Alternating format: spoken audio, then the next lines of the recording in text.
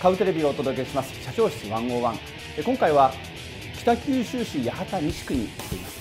今日お尋ねしている会社はある製造メーカーです。え何を作っている会社かと言いますと振動モーターというですね、え振動させることによって物を運ぶその心臓部を作ってらっしゃる、え会社さんであったりですねまた産業用のブレーキ、え例えば、え福岡ヤフードームの可動式の屋根がありますね。あの屋根のブレーキなんかを作ってらっしゃる会社さんだそうです、えー、会社名を株式会社村上製機工作所さんと、えー、おっしゃいましてそちらの3代目の社長であります、えー、橋本社長にですね、え今日は詳しくこの会社の追い立ちそして強さの秘密また社員さんのですね自主的経営の中身についてですね詳しく聞かせていただきたいと思います。ご紹介します。橋本社長です。今日はどうぞよろしくお願いします。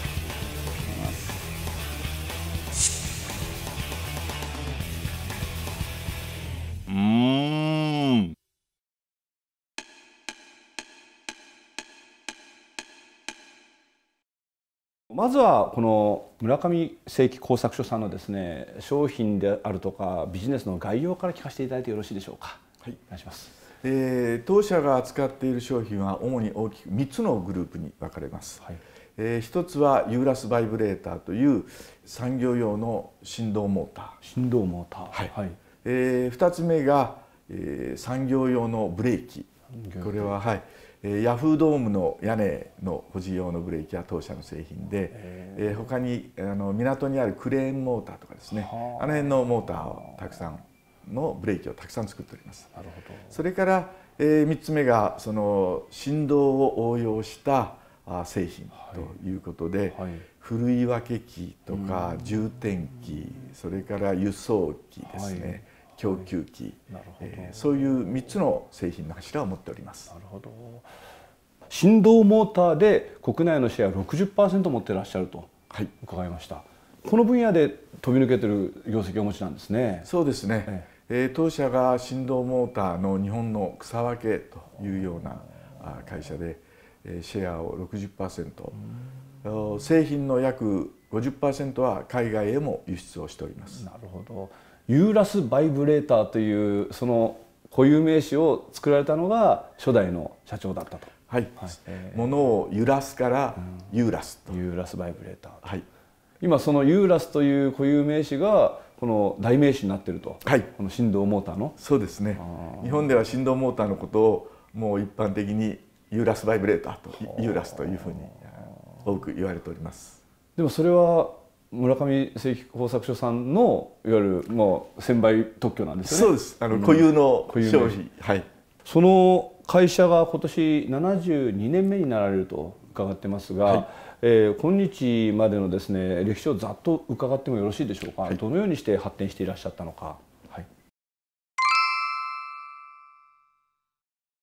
最初はですね、えー、農業器具から作ったというふうにあの聞いております。まあ聞いておりますというのももう私もその昔のことはよく知らないんですが、はい、私がこの会社に、えー、入ったのが1998年ですが、はい、もう19年ぐらい前になるんですが、えー、大まかにその製品群というのはそれからは変わってはいないんですが当時からユーラスバイブレーター産業用のブレーキそして振動応用機というものをですね柱に日々改良を進めて今日に至っております。モーターの両軸にアンバランスウェイトをつけてこう回すだけという非常にシンプルな、アンバランスウェイトをつけて回すことで振動が起きるはい起きると。まあ、振動が起きるがゆえに、はい、自分がすぐ壊れちゃうわけですね。はい。あ劣化しやすい。ところが当社のは壊れないので、壊れないあのダイヤモンドで有名なデビアス社ですね、はい、えー、今海底を掘ってダイヤモンドを取るんですが、はい、1回船が港を出ると2年ぐらい帰ってこない、はい、でそれが故障して1時間止まると2,000万円の損費が出ると、いうことでヨーロッパの振動モーターを使われてたのをユーラスに変わるとこれは壊れないから当社に入れるモーターは全部ユーラスのことというご指名をいただいて。デビアス社はい、ダイヤモンド有名な。ダイヤモンドで有名なデビアスや当社の大事なお客様。そうなんですね、は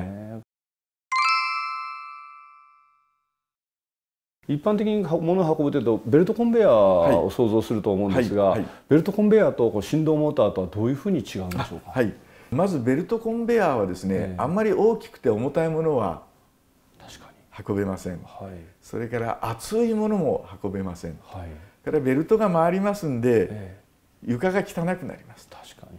当社の製品を使ったフィーダーはですね、はい、えー、全然そういうことがなく振動で物をずっとこう送っていくということで、えー、メンテもいらないしということで、えー、形状としては、はい、そのベルトコンベヤーだとベルトがついてるわけですけれどもどんな形状になってるそう私は素人でわからないんで、はい、レールですかね。レールがずっと並んでて、はい、それ下が動いてるから上に飛び跳ねていくと。飛び跳ねていく、はい、重たいもんでもですね。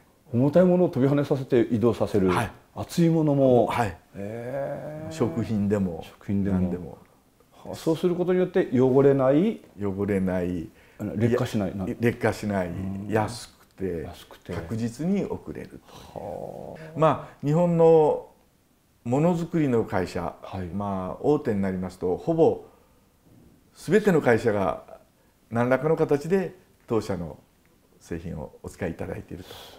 いうようなはい、ちょっと大げさですが。いえいえいえいえ。